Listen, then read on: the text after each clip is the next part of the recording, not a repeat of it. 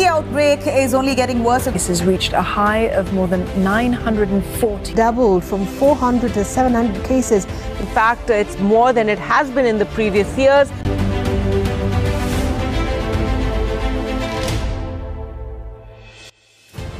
In Malaysia, based on the statistics from the Ministry of Health MOH, in 2020, there is 90,304 cases and 145 deaths because of the virus.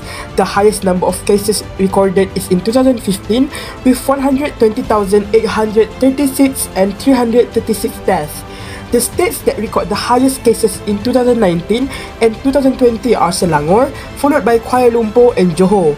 Johor has the highest number of death cases, which is 43 deaths in 2020.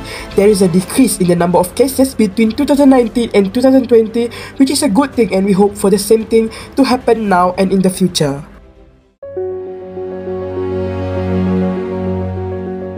The Swahili word Kiligapepo for the illness is where the term dengue first appeared. Spanish written record from 18,000 provide the earliest mention of a disease known as dengue. During epidemics in East Africa and the West Indies in the early 19th century, the illness was sometimes referred to as dengue or dienga. The Spanish term dengue, which is still in use today, did not become widely used until an outbreak in Cuba in 1828. In Philadelphia in 1780, the first instance of a sickness with symptoms similar to dengue was recorded. Thomas Lane Bancroft proposed that the mosquito vector Aedes aegypti transmitted dengue in the year 1906, and the following year in 1907, Ashburn and Craig demonstrated that the virus that causes dengue is to blink. The dengue 1 was first found in 1943 by Japanese researchers.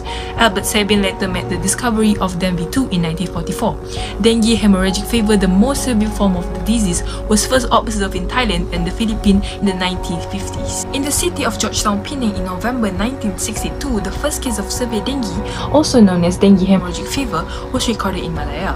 Dengue incidences started to spread into Penang and Kuala Lumpur's urban regions in the 1960s.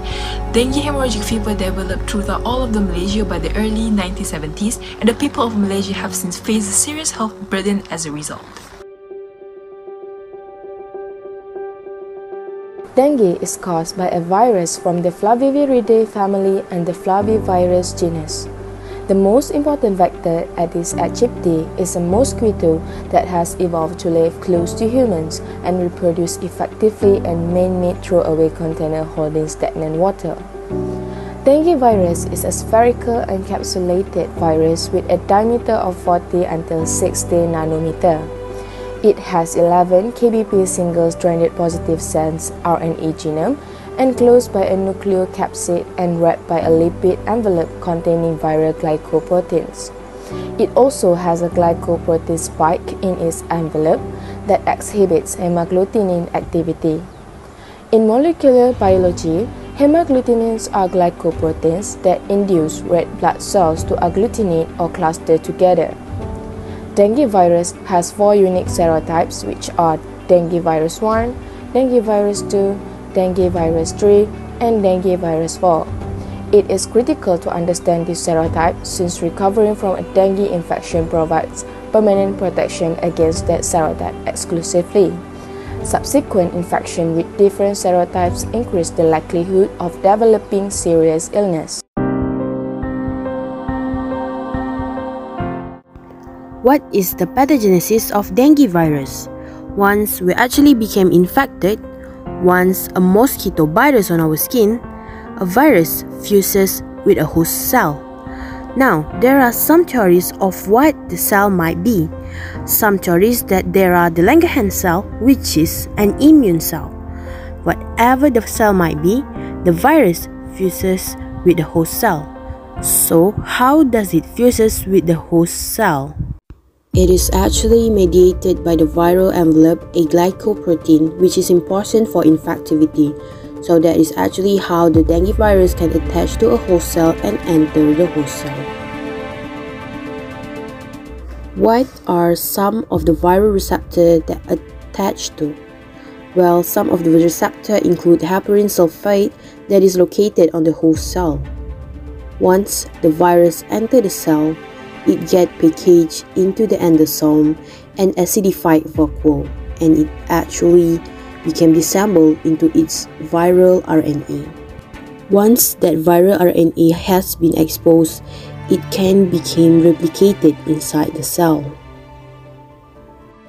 And once we have enough viral replication, the virus actually assemble and we can think about it assembling in the ER or endoplasmic reticulum. And once the virus has assembled that can mature into a virion through the endoplasmic reticulum and Golgi apparatus, it can get packaged again and it can be released to be able to infect other cells. So that is actually the basic process as to how the dengue virus infect the host cell.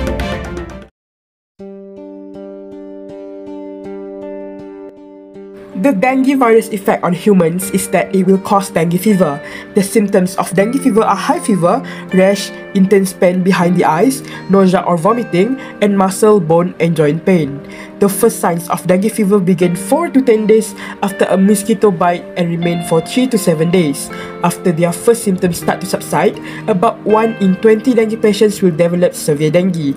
Due to the growing number of cases, the expansion of epidemic areas, and the emergence of severe clinical manifestations of dengue hemorrhagic fever or dengue shock syndrome, which can be fatal if untreated, dengue virus infection has been classified as one of the world's emerging and re-emerging diseases. The symptoms of severe dengue or also known as dengue hemorrhagic fever are stomach or abdominal pain, frequent vomiting, throwing up blood or blood in poop, nosebleeds or bleeding gums, and the last one is extreme tiredness, restlessness, or irritability. Severe dengue is more likely to develop in those who have already experienced the disease and the risk of severe dengue is increased in infants and pregnant women. Dengue is transmitted by the bite of an Aedes mosquito that is infected with one out of four dengue viruses. Nearly 400 million people are infected with dengue per year is estimated to research, but most of the cases have no symptoms. There are some measures taken by the authorities of Malaysia to control the disease from spreading widely. Actually, there are lots of ways to prevent dengue, but here are some of the examples we will look today. The first one is house inspection for Aedes breeding. This is one of the actions taken by the government to control the mosquito breeding ground around the housing area. Next is Aedes mosquito fogging. There are two types of fogger which is thermal fogger and cold fogger. Both of it are the technique that involve a fine pesticide spray which aerosol that was directed by a blower. Outdoor residual spraying ORS is an insecticide base it's a new approach initiated by the IMR Malaysia and commonly used to obtain the reduction of vector main contact by applying low dose of pyrethroid onto the outer surface of the suspected area. Last one is autocidal trap.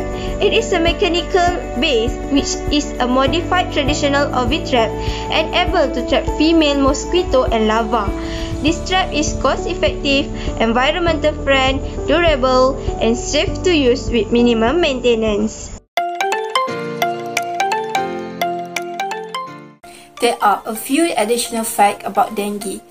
First, dengue can only be transmitted through human contact if the person is bitten by a carrier mosquito, the female Aedes mosquito. This mosquito is known to bite during the day and its preferred bite site are below the elbow and knee. Second, when a pregnant woman becomes infected with dengue during childbirth, the infection can be passed on to her newborn baby. Third, when infected with dengue, patients should avoid taking aspirin or other pain relievers. This is because dengue fever reduces platelet count and cause blood thinning. Aspirin is also known to have the same effect on platelet count and can hasten its decrease in a dengue patient. Fourth, the best way to treat dengue fever at home is to reduce the fever and keep the patient hydrated with plenty of water. Nutrition food is also advised to help reduce the severity of dengue fever.